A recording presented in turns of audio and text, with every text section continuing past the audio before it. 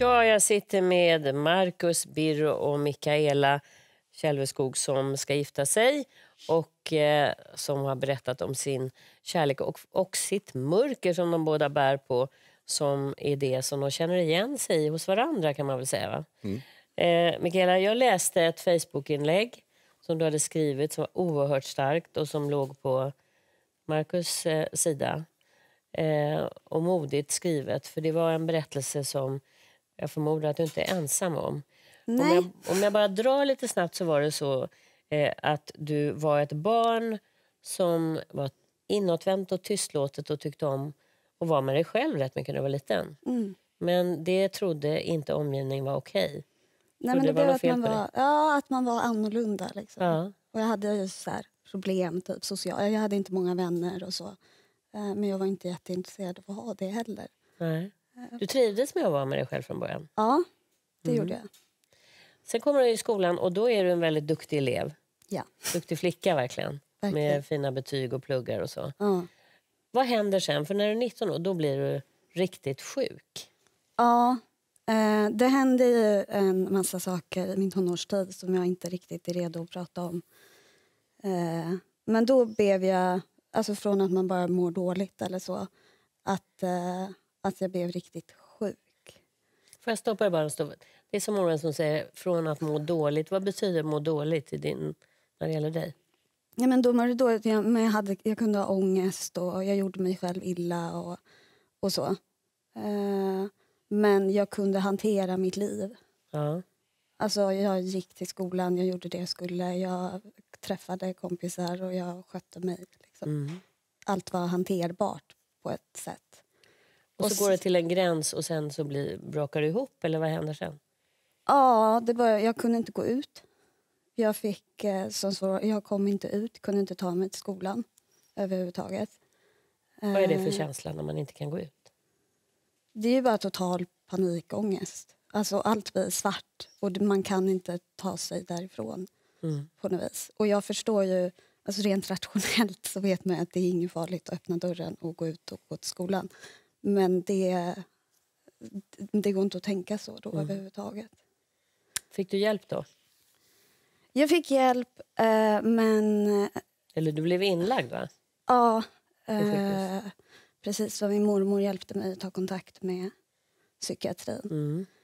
Och sen så var jag inlagd och sen så var jag i öppenvården. Och där, eh, jag ansågs vara för sjuk för att få terapi. Så jag fick väldigt, väldigt mycket olika mediciner. Mm. Hur blev det av dem då? Äh, inte bättre. Jag fick massa dåliga biverkningar. Och när jag sa att jag fick det så bara, ja, men vi höjer dosen. Och så var det så i många år. Hur många år då? Ja, jag blev, jag, ja, jag blev inlagd första gången 2006. Och sen fick jag börja i terapi på riktigt 2012. Men du, vad skulle du ha behövt för hjälp om du tittar tillbaka? Jag ville ha terapi. Jag ville ha någon att prata med. Och det finns, fanns det ingen att prata med då? Nej, utan jag bedömdes inte alltså för sjuk för det. Så det enda som fanns var liksom förvaring och mediciner. Mm. Vad, gör, vad är det som gör att du sen kommer ut och börjar leva ändå ett vanligt liv? Eh, det gör jag väl inte riktigt. Eh, jag är sjukskriven idag också, men nu får jag hjälp. Jag har gått i terapi i ja, vad blir det, sju år. Sju års terapi? Uh, ja. Du sitter ju här och berättar om det här, men du sa till mig innan att det är så mycket skam kring det här. Hade jag haft en tarmsjukdom så hade jag kunnat prata om den. Men det här är så mycket mer skam. Jo, jag har en kronisk tarmsjukdom och det är liksom inte så det kan man säga och det är helt okej. Okay. Uh. Men när folk har frågat mig vad jag gör så har inte jag velat säga att jag är sjukskriven och att jag mår psykiskt dåligt. Uh. Utan då säger man ah, nej men jag pluggar och det går jättebra. Uh, bara för att slippa prata om det. För att det är för jobbigt, för att man skäms. Man skäms? Och då har jag väl kommit till den punkt nu där jag har insett att jag ska inte behöva göra det. Mm. För att det är, det är inte mitt fel. Liksom. Det är inte jag som har gjort något. Och det är inte... Nej det är inte en annan sjukdom än fysiska andra sjukdomar. Liksom. Du, du, du har ju, det stod ju i tidningarna också när du träffade Marcus att du hade ett förflutet som Sverigedemokrat och du berättade för mig att det här var när du var 18 år. Du var förvirrad och sökte dig åt alla möjliga håll.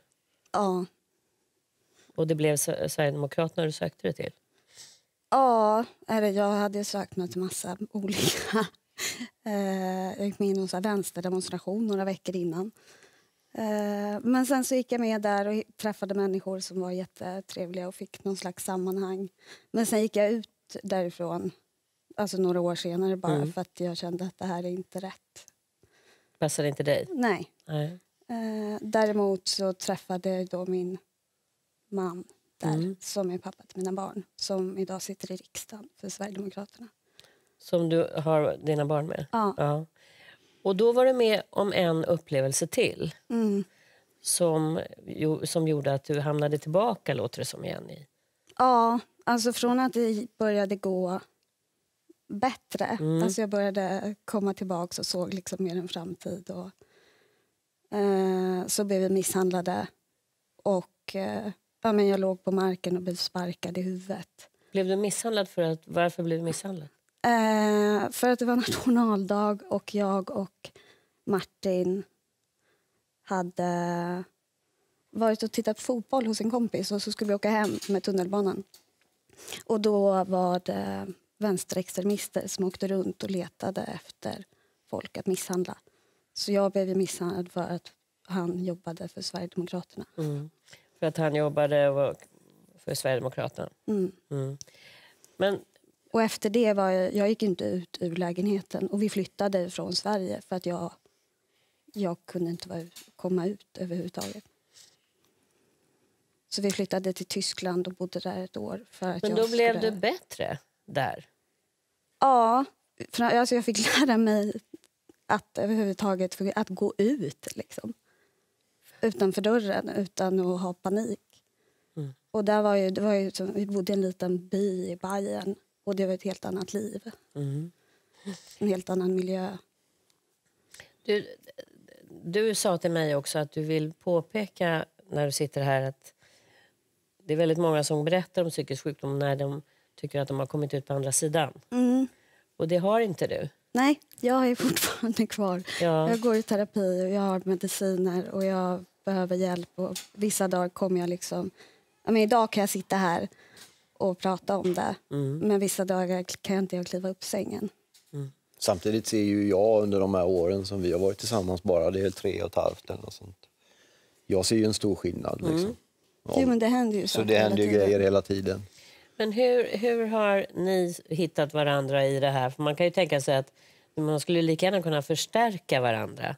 Ja, men det har vi nog gjort, också, om jag ärligt talat. Vissa, men man lär ju sig till slut, när kärleken är så stark så får man helt enkelt hitta vägar förbi det som gemensamt förstör möjligen då. Sen så har man ju också, jag har ju lärt mig otroligt mycket mer om vad psykiskt dåligt mående, eller vad man ska kalla det, den här sjukdomen, vad det är för något. Och man har ju själv fått... Vad har du lärt dig, Marcus? Nej, men att man inte är så långt därifrån själv. Jag kanske inte har någon stor sån perm som någon läkare i någon kan plocka fram och bläddra. Men eh, man, man kan lära sig väldigt, man får, man får lära sig ödmjukhet väldigt mycket genom att lyssna på vad du säger och vad du har varit med om och vad du har fått kämpa för att göra, liksom de vanliga sakerna och de här ste, stegen du tar. Du kan vara själv, du trivs med att vara själv. Du vill inte ens ha mig där jämt nu, för det är skönt att vara ensam. Det, det skulle aldrig hända för tre år sedan. Och se den utvecklingen, en människa tar ansvar över sitt eget liv och känner okej, okay, jag står för vem jag är, vad jag har, men jag vill också bli bättre. Hur gör jag? Ber om hjälp, tar den hjälpen som finns, kämpar för att få den hjälpen hon är värd. För mig är det liksom en soldat verkligen, liksom, i någon sorts kärlekens namn. Jag tycker det är fantastiskt att få vara en del av det. Va, va, hur känns det att sitta här och berätta om det när det är så mycket skam som du har burit på under ditt liv? Nu känns det jättebra, ja. för att nu har jag inte det längre. Alls, du har, du har inte skam, du kan prata om det? Ja. Vad beror det på, tror du, att du kan det? Att jag har lärt mig att jag är okej, okay, typ. Alltså jag har burit på så fruktansvärt mycket självhat i jätte, jätte, jättemånga år. Mm. Uh, och nu är jag 30 och det är väl liksom precis nu, senaste året, som jag har lärt mig att tycka mer att jag är okej. Okay. hur ser du? Du är sjukskriven fortfarande. Du har hjälp, säger du, terapi? Ja, terapi. Och jag ska börja en ny traumabehandling nu i höst. Mm. Uh, så, så hur ser du framåt? Att Eller jag ska, ska man inte se framåt kanske? Man ska bara kanske vara där man är. Jo, men man ska se framåt. Och nu är det... Eh, jag har mina behandlingar och om de fortsätter gå bra... Eh, jag vet inte hur jobbig den här nya kommer bli för mig. Men om det går bra och jag fortsätter hantera allt så ska jag förhoppningsvis börja arbetsträna. Mm. Vilket är så här... För mig, alltså, jag sjukskrevs när jag var 19 och nu är jag 30, så det är jättehäftigt. Du ser väldigt glad ut när du säger det. Ja, jo men bara att det finns liksom. Jag kan se det och jag kan tänka på det och jag kan liksom att det ens finns inom räckhåll. Och Hur hanterar du besvikelse? För jag kan tänka mig att du har varit med om så många gånger. Två steg fram och sen hamnar du tillbaka igen. Mm. Hur hanterar du? Har du lärt dig att hantera det? Det vet jag inte riktigt, men nu får jag ju hjälp och jag tar hjälp direkt istället för att liksom drunkna i det själv. Ja. Så inser jag att okej, nu har det här hänt och det här är hemskt och jag känner så här.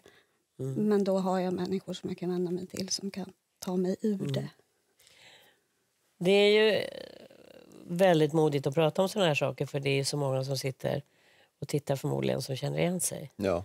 Vad skulle du säga om skam? För du har ju pratat om ganska svåra saker. Det är, en, eh, det är ett gift i många människors blod, det där att man skäms över hur man egentligen mår, vem man egentligen är, eh, vem man egentligen älskar, hela den där rörelsen. Alltså det finns så jävla mycket människor som ljuger för sig själva och som mår så fruktansvärt dåligt över att de tvingas ljuga för sig själva, för sin omgivning om hur de egentligen mår. Det är mycket fasader utåt och många som gråter när ingen ser. Och de vet inte ens varför de gråter när ingen ser. Det är mycket. Så ju mer som man kan prata om, ju mer man kan lyfta, ju mer man kan sätta ord på det och ju mer man kan visa att men, jag duger som jag är även om jag inte är okej, men jag jobbar fan på att bli hyfsat bra. Liksom. Det är väl fantastiskt.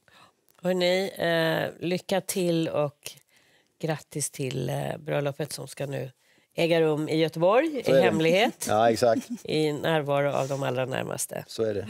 Tack så mycket. Stort lycka till och tack för att ni kom. Tack så jättemycket.